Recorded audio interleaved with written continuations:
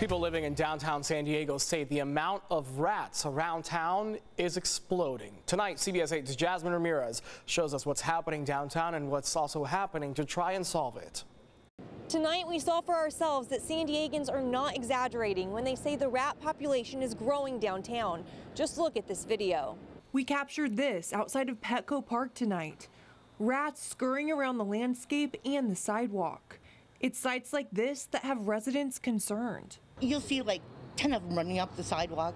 They're getting to where they're not so scared of people. Deborah and Jone live in East Village, where they say the rat population has exploded. I'm scared for my dog because I'm afraid my dog might get bit by one. I am scared for myself. I don't want them running across my feet. She posted on the Nextdoor app to see if other people noticed the uptick. Tell me the response you got on Nextdoor. I have had so many responses. I was just looking to find out who to report it to. She then learned San Diego County Vector Control is in charge, and she made a report. Tonight, I also reached out to see if they plan to do anything about the rats, but I haven't gotten a response. A local pest control company did tell me they're seeing more people call about rats. I know they're not all going to go away, but they could probably, you know, do something to stop the progression of them. Tonight, I also spoke with the Downtown San Diego Partnership.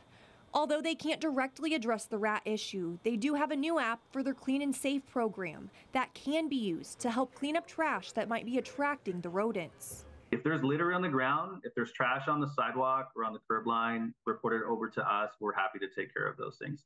To find the app, just search Downtown San Diego Partnership Clean and Safe in the App Store on Android and Apple devices, and it should pop up.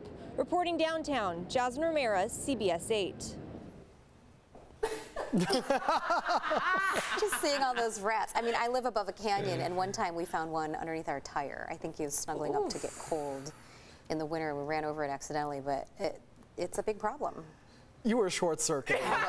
like that's all I could call it. You were short circuit. The noises Just you were making. Looking at all the little, yeah. That that that is some uh, very up close video. It was very up close video. Yes. Yeah. Thanks for that, Jasmine.